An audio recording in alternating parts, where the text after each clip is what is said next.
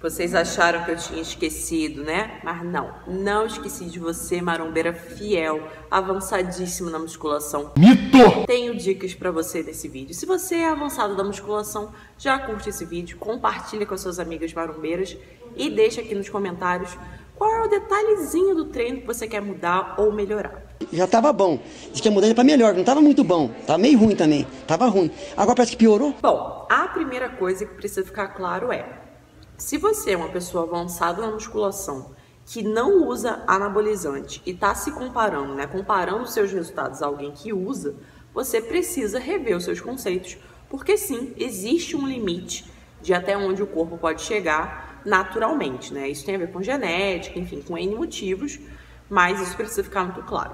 I'm not going anywhere! Então vamos lá para a primeira dica que é, se possível, varie o seu treino toda semana ou até todos os dias. What? Você já viu aqui em outras oportunidades que a recomendação é que você fique com o mesmo treino um mês e meio, dois meses, no máximo, no máximo, estourando muito, três meses.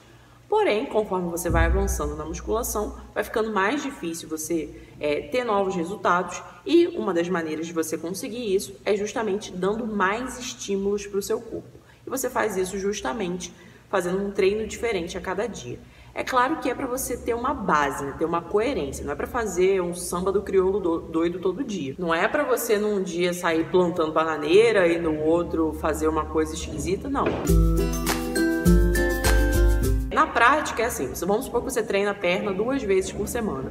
Num dia você faz o leg 45, no outro você faz o 180.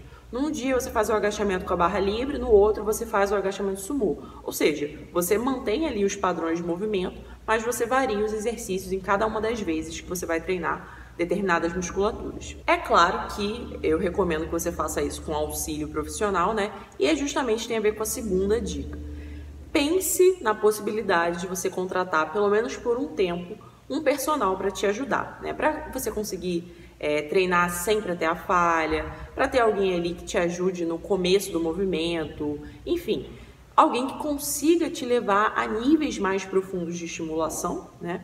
E aí, consequentemente, você vai ter novos resultados. Eu sei que não é barato, né? E principalmente se a gente está falando de um profissional, é, de um bom profissional que estudou para te dar o melhor atendimento, mas, se você quer chegar no nível que poucas pessoas chegam, você tem que fazer investimento né, de tempo, de dinheiro, de N coisas, maior do que o que as pessoas em geral fazem. Então, pense com carinho nessa possibilidade. Sou rica! Uma outra possibilidade, se você não conseguir é, contratar um personal, é ter uma companheira, um companheiro de treino que te estimule ali a, a ir além, a pegar mais peso, a treinar até a falha, também pode ser uma opção interessante.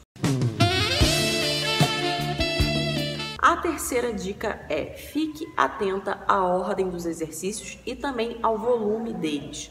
Né? Todo mundo tem aquelas musculaturas que são resistentes, né? teimosas, que não crescem de jeito nenhum. Porém, pode ser porque você sempre negligenciou essa musculatura. É o caso que eu já dei aqui em outros vídeos da panturrilha, por exemplo. Mas isso serve para outras musculaturas, né? Se você coloca no começo do seu treino e faz mais exercícios para essa musculatura específica que é teimosa de crescer, a tendência é que ela responda melhor ao treinamento. Então, ó, duas coisas colocar no começo do treino aquilo que é prioridade para você, que não tem, não tem acompanhado o restante do seu corpo e dois, aumentar o volume, ou seja, fazer mais séries e mais exercícios né, para essa mesma musculatura. A quarta dica é fique atenta à cadência, né, à velocidade com que você faz os exercícios e também ao intervalo entre séries. Eu já falei disso aqui em outras oportunidades, mas da mesma forma que os intermediários acabam se prendendo a uma divisão de treino específica e fazem essa divisão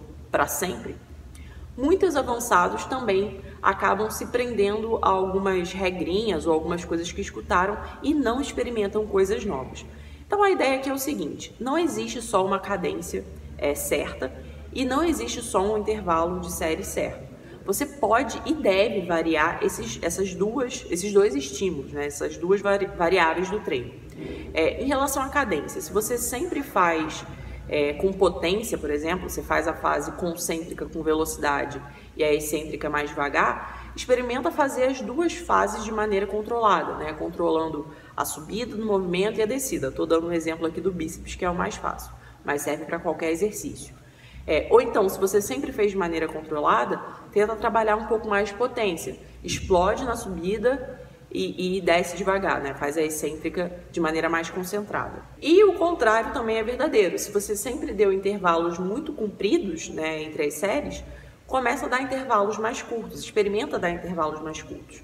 Isso provavelmente vai ajudar você a treinar até a falha, né, a chegar até a falha com menos repetições, o que também pode ser interessante para variar o seu treino. Yeah, baby! a quinta e última dica é fique ainda mais atenta aos seus níveis hormonais, de vitaminas, sais minerais. Né? Às vezes, uma vitamina D que está cronicamente baixa, ou de repente o magnésio que está muito baixo, é o que está é, fazendo com que você não tenha um resultado tão bom, né? tão bom quanto você gostaria ou poderia ter. Isso, claro, né? Se a sua alimentação já estiver adequada para o seu objetivo. E aí, gente, nesse caso, vale muito a pena você ir num endocrinologista ou num nutrólogo, enfim, num profissional que vai conseguir é, olhar os seus exames, entender o que está acontecendo, o que, pode ser melhorado, o que pode ser aperfeiçoado para você atingir o próximo nível aí dos seus resultados. Esse também é um bom momento para você é, usar suplementos, né? Caso você não tenha usado ainda.